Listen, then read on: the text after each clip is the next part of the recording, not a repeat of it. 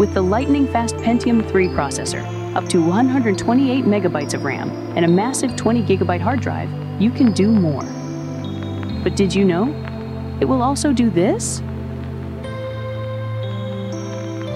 Be critical of who paint twice in nostalgic light.